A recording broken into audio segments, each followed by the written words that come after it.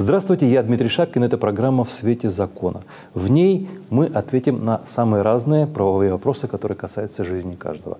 Это программа «Диалог с сотрудниками областной прокуратуры», где мы озвучиваем реальные вопросы наших телезрителей. Спрашивайте, задавайте свои вопросы, и мы ответим на них в эфире нашей программы.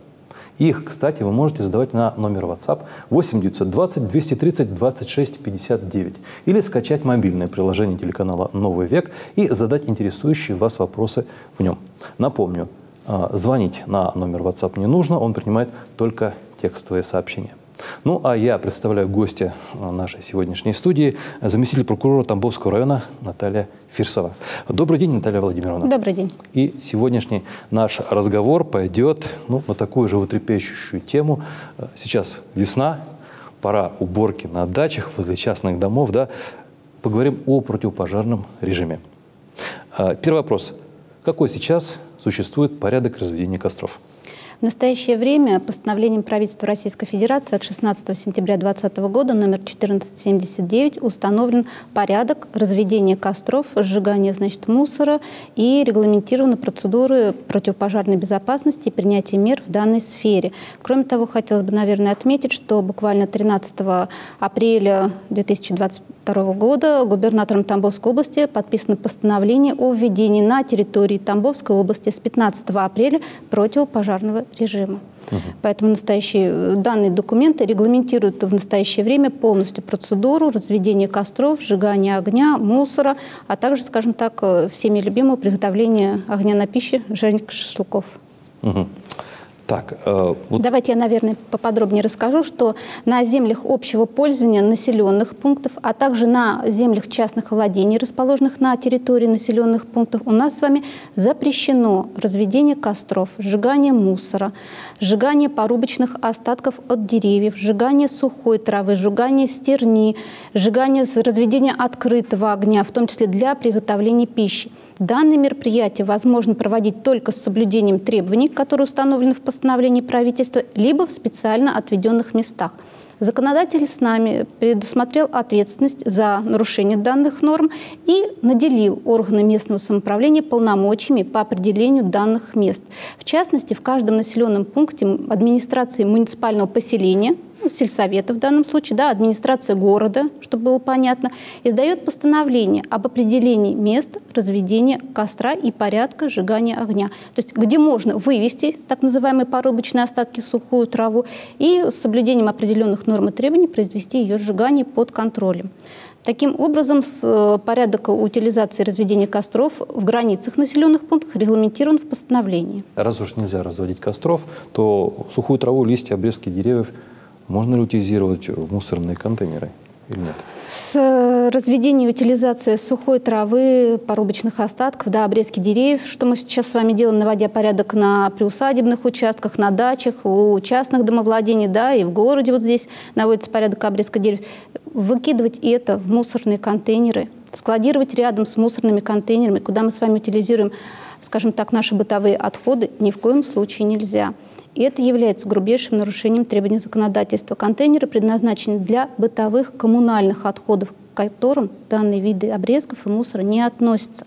Складирование остаточных э, вот этих вот порубок, обрезок, сухой травы возле мусорных контейнеров создает опасную пожарную ситуацию. И при возгорании, скажем так, уровень очага и возгорания будет значительно увеличен. Плюс при выделении от горения контейнеров и коммунальных отходов могут выделяться ядовитые газы, пары, что, скажем так, усугубит данную ситуацию в данном случае.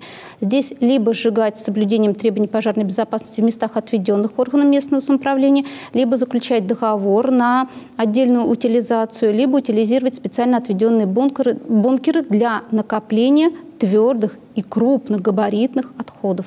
Угу. Ну, а тогда можем ли сказать, какие требования установлены к местам разведения вот таких костров? У нас э, законом четко ограничены и определены нормы, когда можно разводить костры, когда можно допускать открытое горение огня, когда нельзя. У нас не допускается ни в коем случае открытый огонь, костер в местах, расположенных ближе, чем 50 метров то до зданий, строений, сооружений, которые находятся в непосредственной близости. То есть здесь в данном случае говорится о том, что на расстоянии ближе, чем 50 метров, вообще запрещено разводить какие-либо костры, огни. После завершения мероприятия, если был разведен костер с соблюдением там, требований минерализованных полос, значит, там должно быть а, опашка произведена, то есть разрешается, надо контролировать горение костра, необходимо принять меры до затушения либо засыпания костра и для того, чтобы не допустить дальнейшего разгорания, чтобы все угли тления были погашены. Место разведения открытого огня, как я уже сказала, должно размещаться не ближе, чем на расстоянии 50 метров до зданий, строений, сооружений, хозяйственных построек, ну, ангаров, гаражей и всего остального, здесь необходимо обратить внимание, что не ближе, чем на расстоянии, не менее чем расстояние 100 метров до хвойных лесов и 30 метров до лиственного леса и произрастания, скажем так, древесно-кустарниковой растительности, какие-то кусты, заболоченные участки местности. То есть ни в коем случае нельзя на этом расстоянии разводить костры и огни. Возможно использование открытого огня, то есть в металлической емкости, либо специальной емкости несгораемой, которая предотвращает горение огня с соблюдением, с использованием негорючих материалов, в данном случае расстояние, установленное законодателем, может быть сокращено вдвое, то есть 25 метров до ограждений, сараев, построек, зданий, сооружений, до хвойного леса 50 метров, до леса лиственного у нас с вами 30 метров. При этом емкость из металлической либо из несгораемого материала должна создавать такие условия, чтобы горящие остатки не могли из нее выпасть наружу или получить иное распространение. И при возникновении ветра, либо неконтролируемом горении, когда увеличивается размер костра, костерища, огня, должен быть иметься в наличии металлический лист, который должен полностью закрыть э, емкость, в которой происходит э, горение вот этого вот материалов, каких-то остатков, э, там, дров, порубочных остатков, либо еще чего-то, чтобы не допустить дальнейшего распространения и погасить возникающий в данной ситуации пожар. На территории сельских поселений, вот хотелось бы сказать, населенных пунктов, городских э, территорий, то есть где находятся места проживания населения, массовое скопление домов, каких-то социально-культурных, бытовых э, зданий, строений, сооружений. Это и дома культуры, и спортивно-оздоровительные какие-либо.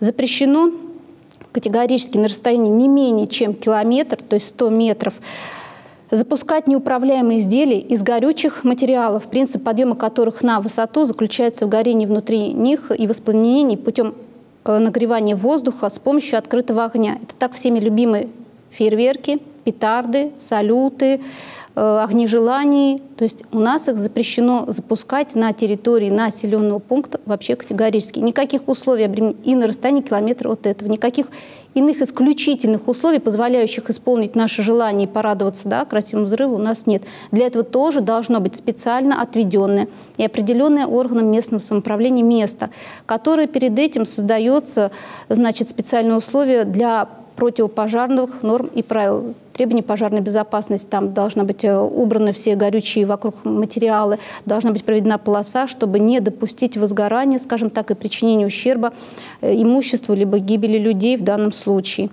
И в течение всего вот, э, использования открытого огня в течение всего периода горения, как бы мы с вами разводили там в металлических емкостях, либо специальные, но не горючие емкости, до прекращения тления должно вестись постоянное контролирование за размером горения огня и пожарным тушением. А вот требования эти распространяются на э, разведение огня в том же самом мангале? Законодатель здесь предусмотрел определенные, скажем так, рамки и границы по расстояниям, по разведению огня в мангале. Да? Дачный сезон, теплая погода, мы все хотим выехать на природу, либо где-то развести огонь в мангале, либо на дачах сейчас начнется теплый сезон, люди будут отдыхать. Там, э, так же, как и любое разведение огня, да, у нас имеет шанс распространения углей, тления и имеется место возгорания. У нас большинство построек и территорий являются деревянными, что легко воспламеняется. Так вот, при разведении костров для приготовления пищи, так законодатель у нас с вами говорит про мангалы и же с ними, в специальных несгораемых емкостях. И допустимо это только в специально несгораемых емкостях. То есть, как раньше вы хотите пожарить шашлычки на кирпичках, это недопустимо данный законодатель введен запрет. То есть при разведении костра специальных несгораемых емкостей, это мангалы, грили, что у нас есть, жаровни и другие металлические емкости, на земельных участках в населенных пунктах а также на садовых участках расстояние до зданий, строений, сооружений должно быть не менее 5 метров. И на территории 2 метров от места разведения костра и от негорючей емкости должно быть все очищено от горючих материалов, от воспламеняющихся материалов. То есть в данном случае меры безопасности все равно есть. Разведение э, жарко шашлыков на открытом огне без негорючих емкостей у нас с вами запрещено. Угу. А в каких случаях вообще запрещено разведение костров? Разведение костров у нас с вами запрещено на торфяных почвами, под кронами хвойных деревьев в лесу, а у нас с вами в Тамбовской области большинство хвойных лесов располагается в емкостях, которые повреждены и не имеют уже значит, э, ограничений и препятствий для выпадения горючих остатков. При силе ветра, если огонь у нас с вами в металлической емкости, при силе ветра больше 10 метров в секунду, если у нас разведен с вами открытый огонь с соблюдением норм, то если свыше 5 метров в секунду, огонь подлежит немедленному затушению. Кроме того, в особый противопожарный режим. У нас не только разведение костра запрещено, но и посещение лесов и иных объектов в целях недопущения возгорания. Также запрещено выжигание сухой травянистой травы, значит, растительности, стерни, это пожитника остатков на землях сельхозназначения, землях запаса, землях населенных пунктов. В данном случае у нас это производится сейчас активно весной, да, когда население решило навести порядок, либо вдоль речек, на полях э, сухую траву выжигают, правда, не мотивированно. Идет неконтролируемый ход огня, потому что нет никаких соблюдений норм, сильный ветер в весеннее время, и огонь контролируемо с большой скоростью распространяется, в том числе на населенные пункты, на жилые дома, здания, сооружения. И, к сожалению, когда бригады пожарной службы могут уже выехать, э, причиняется значительный урон и ущерб не только зданиям, но, может, и здоровью людей. Поэтому запрещено выжигание вот, полях, как я уже сказала, на полях, вдоль берегов рек, вдоль полос отвода дорог, в данном случае, потому что порывы сильного ветра распространяют горение огня на большие территории, и уже остановить и принять какие-то превентивные меры довольно-таки сложно. Вот у нас с вами показатель был 2021 года, да, когда у нас ряд сел в Сосновском районе, селу был причинен ущерб, в Тамбовском районе сгорел жилой дом и хозяйственные постройки у людей был причинен имущественный вред. У нас вор с вами уносит имущество, да, а оставляет стены, огонь забирает все. В данном случае жизни людей, наверное, в этой ситуации самое страшное, что может быть. Поэтому необходимо отметить, что вот сухая, жаркая погода обращает наше с вами внимание на необходимость более тщательного э, соблюдения данных норм и правил. В пожар, посещая леса, да, наслаждаясь свежим воздухом, ни в коем случае нельзя там оставлять ни закуренную сигарету, ни затушенную спичку. Как показывает 2010-2013 год, да, у нас с вами очень сильно горели населенные пункты. Это со стороны Котовска на Тамбов шел огонь, да, у нас с районом ЖК был задымлен в течение, наверное, недели бутылки, стекла от бутылок, они работают как лупа. И подложка у сухой травы возгорается очень быстро, и когда идет верховой пожар, его затушить практически невозможно, потому что это горит не низ, а это огонь идет сверху. И огонь распространяется с большой силой. И вот самое страшное, наверное, это жизни людей, которые могут быть унесены в результате возгорания и пожара. Очень хочется надеяться, что все-таки у людей проснется разум, и они не будут больше так делать в будущем, потому что, ну, получать увечья гибнуть и терять жилье. В таких пожарах, наверное, не хочет никто. Конечно, целиком полностью с вами согласна. На этом мы завершаем нашу программу. Я напоминаю нашим телезрителям, что свои вопросы вы можете присылать на номер WhatsApp 8 920 230 26 59 или скачать мобильное приложение нашего телеканала, телеканал «Новый век» и задать интересующие вас вопросы в нем. Еще раз напомню, что звонить на номер не нужно, он принимает только текстовые сообщения. Ну, я благодарю нашу гостью. Спасибо вам огромное за очень животрепещущую тему, за, э, скажем так, разговор, который, наверное, остудит э, головы очень многих людей, которые, возможно, собрались вот в ближайшее время, в ближайшие выходные, да, там навести порядок на даче, перед домом, где-то еще и прожечь костер. Теперь люди, наверное, будут все-таки понимать и представлять себе, к чему это может привести, и будут все-таки избегать этого. Спасибо вам. На этом я прощаюсь с вами, уважаемые телезрители. Всего доброго, до следующей недели.